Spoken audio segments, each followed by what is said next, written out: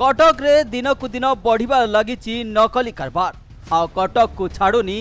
ନକଲି କାରବାର ବାରମ୍ବାର ଚଢ଼ାଉରେ ଜବତ ହୋଇଛି ବିପୁଳ ପରିମାଣରେ ନକଲି ସାମଗ୍ରୀ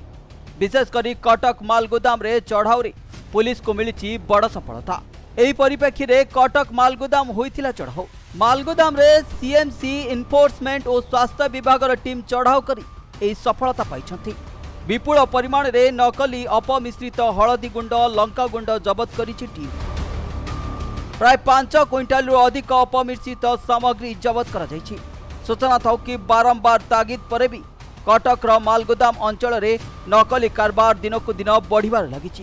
खबर पा चढौ गरिपरिक मालगोदाम सिल्छ सिएमसि एनफोर्समेन्ट ओजन कन्टासह अन्य जिनिसपत्र जबत गरि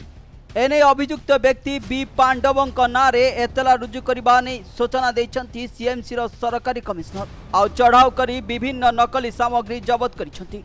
କଟକରୁ ସିଦ୍ଧେଶ୍ୱର ରାଉଳଙ୍କ ରିପୋର୍ଟ ପ୍ରତିଦିନ ଟିଭି